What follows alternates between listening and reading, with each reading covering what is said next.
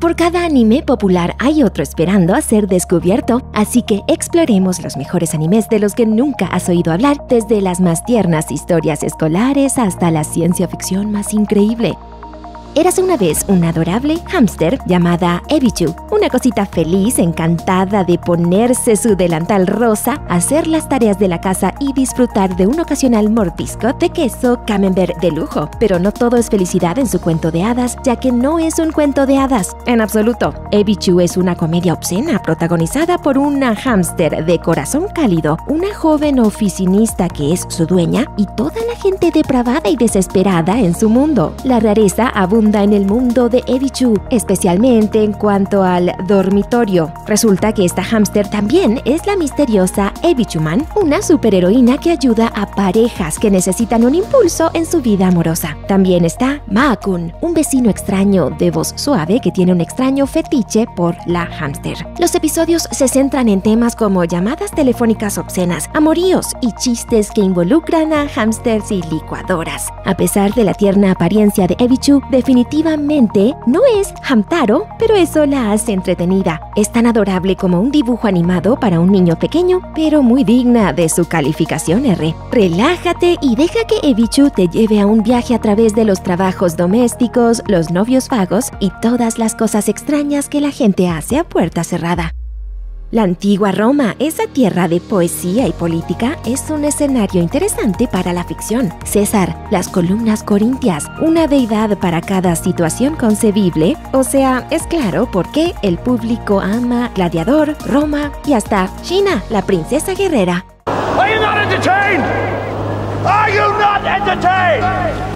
Thermei Romei es parte de este grupo, aunque es tal vez la entrega más inusual de todas. La historia está protagonizada por Lucius, un arquitecto romano especializado en baños. La mayor parte de la acción de la historia ocurre en el Japón moderno, donde Lucius queda deslumbrado por los avances en plomería y el control de la temperatura. Sí, Thermei Romei trata sobre el amor de un antiguo romano por los baños japoneses modernos y sus intentos de llevar a casa los avances técnicos que encuentra. Ahora, ¿cómo viaja a través del tiempo y el espacio? ¿Por qué le pasa lo que le pasa? ¿Y le pasa también esto a otras personas? Nada de eso importa. Lo genial de Thermei Romei es lo absurdo que es. Alguien que simplemente ama los baños y llega a experimentar dos de las más grandes culturas del baño de la historia. Es muy divertido verlo volverse loco por las innovaciones como los gorros de shampoo, los bidés y los parques acuáticos y sinceramente es muy reconfortante verlo llevar a Roma todo lo que experimenta.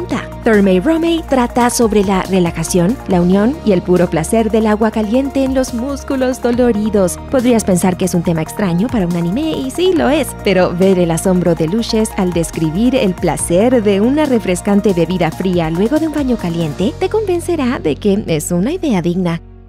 Décadas en el futuro, una raza de alienígenas insectoides hostiles amenaza la Tierra. Nuestra única defensa son máquinas de combate pilotadas por jóvenes seleccionados por su valentía. Si eso te suena familiar, bueno, es por algo. Y Gunbuster no es solo un anime clásico de robots gigantes, sino uno de los abuelos de este género que ha influido en décadas de anime desde su debut en 1988. ¿Ya disfrutaste de sus descendientes en la forma de Gurren Lagann o Darling in the Franks tal vez incluso de su serie de secuelas Diebuster? Sin embargo, incluso un total novato en el anime puede disfrutar de Gunbuster. Gran parte de su éxito radica en la dinámica entre el dúo que está en el centro de la historia. Noriko, nuestra protagonista, es la torpe hija de un almirante legendario, mientras que la glamurosa Kazumi es la mejor piloto de la academia, admirada por sus habilidades y por su belleza. El destino las une, creando un vínculo que impulsa la serie a través de las travesuras escolares, la acción interestelar y un final icónico. Gunbuster es el corazón del género mecha, un tributo a los robots gigantes y a los adolescentes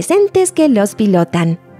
Nicoleta es una joven que fue criada por sus abuelos tras el divorcio de sus padres, que se traslada a Roma por un gran deseo de venganza. Tras haber seguido a su madre hasta Caseta del Orso, un restaurante en las afueras del centro de la ciudad, se prepara para el golpe solo para enamorarse de los ritmos fáciles de la vida italiana. Caseta del Orso es tanto una comunidad como un restaurante, amada por su deliciosa comida, así como por su paciente y guapo personal de servicio. A medida que su sed de venganza por los traumas de su infancia se desvanece, Nicoleta descubre una forma de vida nueva y descubre que cada vez tiene menos ganas de renunciar a ella. Restaurante Paradiso es un anime de recuentos de la vida en su máximo esplendor. La misma caseta del orso y su hermosa comida son tan protagonistas del show como cualquiera de los personajes. Es el tipo de lugar que se siente imbuido de amor, desde el papel tapiz hasta la platería. Es una verdadera delicia ver a los personajes entrando y saliendo, revelando sus deseos, arrepentimientos, esperanzas y decepciones, y a menudo dándose cuenta de que su experiencia en este restaurante los ha cambiado. Este es un anime sobre los sinuosos caminos que las vidas humanas tienden a tomar y lo beneficiosos que estos pueden llegar a ser. Raka, una joven sin recuerdos de su pasado, despierta un día en una habitación que no reconoce. Mientras habla con la gente que la rodea, se entera de que se ha unido a los Haibane, un grupo de mujeres con alas no funcionales y halos que viven en la ciudad amurallada de Glie. Su casa, una escuela abandonada, es un lugar plácido y viven tranquilas, aunque Glie impone algunas reglas misteriosas a sus residentes angelicales. Los Haibane no tienen ropa nueva, por ejemplo, y lo que es más inquietante, tienen prohibido acercarse a las murallas, pero un día esto termina. Los Haibane desaparecen en su día de vuelo, yendo más allá del muro que los separa del mundo exterior. Well then, let me try to explain everything to you from the beginning. Is it okay if I smoke? Aunque los fans han debatido sobre la naturaleza de Haibane Renmei y su historia por años, este no es el tipo de anime que busca ser resuelto por un fan investigador. Es más bien una meditación impresionista sobre la naturaleza de la bondad, la comunidad y el pecado que no busca ni otorga respuestas. Los Haibane parecen estar atrapados en una especie de purgatorio, pero eso no importa. Solo proporciona la base para el verdadero punto de este anime, examinar cómo se alcanza la autorrealización Raka y todos los demás Haibane están luchando y no todos aprenderán lo que se necesita para ser mejores, más felices o para tener más paz. Pero trabajar hacia la bondad es en cierta forma una meta en sí. Al dedicarse a esta moral, Haibane Renmei es una exquisita oda al alma humana siempre cambiante. Masanosuke es un ronin o samurái sin amo que vive en el periodo Edo de Japón. Ese es exactamente el tipo de protagonista que uno espera de un anime, ¿no? The art of swordsmanship is learning how to kill. That is the truth. Pero Masanosuke no es un héroe de acción temerario. Él es en realidad un hombre tímido, hasta el punto de que ha sido liberado del servicio de su shogun. Así es como termina siendo parte de las cinco hojas, una pandilla cuyo líder Yaichi contrata a Masanosuke como guardaespaldas. Y así comienza la interesante historia de la Casa de las Cinco Hojas, un anime sobre forajidos y samuráis que pasan mucho más tiempo conversando que matando. La belleza del anime está en su silenciosa quietud. A medida que la historia avanza y se exploran los personajes y las relaciones, el anime nunca tropieza con el diálogo, la acción o el drama. Más bien permite que una historia profunda se revele lentamente, sumergiendo al espectador en la trama. Este es un anime sobre encontrar la belleza en lo decrépito y el dolor en lo espléndido. Al tomar un enfoque meditativo de los bandidos, Ronin y de personajes criminales que a menudo son glamorizados, logra un contraste inolvidable. La Casa de las Cinco Hojas no se parece a ninguna otra historia de samuráis que hayas visto y ahí radica su éxito. El director Masaki Yuasa ha estado en el centro de atención desde que se estrenó Kaiba en el 2008. Una década luego, dirigió el éxito hiperviolento y aterrador Devilman Crybaby, Ping Pong e incluso un episodio de Hora de Aventura. Pero lo que lo convirtió en el experto que es fue Kaiba, ambientada en un futuro espacial donde la digitalización de la mente significa la vida más allá de la muerte física. Este anime sigue a Kaiba, un chico con un misterioso agujero en el pecho y sin recuerdos que lucha por encontrar respuestas en una sociedad cambiante. Kaiba es un anime tierno con una visual semejante a Astro Boy, el trabajo más apto para niños de Osamu Tezuka. Los personajes son suaves y con aspecto de peluches. Los bordes de las naves espaciales están redondeados e incluso los entornos más duros están llenos de bestias y seres de aspecto amigables. Pero el efecto de esto no es meramente afectuoso, sino más bien es desorientador al combinar una estética tan adorable con una historia sobre la pérdida, Kaiba lleva al espectador a un territorio desconocido eliminando todas las suposiciones fáciles de hacer sobre dónde va la trama y quiénes son los personajes. Aterrador y conmovedor, Kaiba es un anime que nunca olvidarás.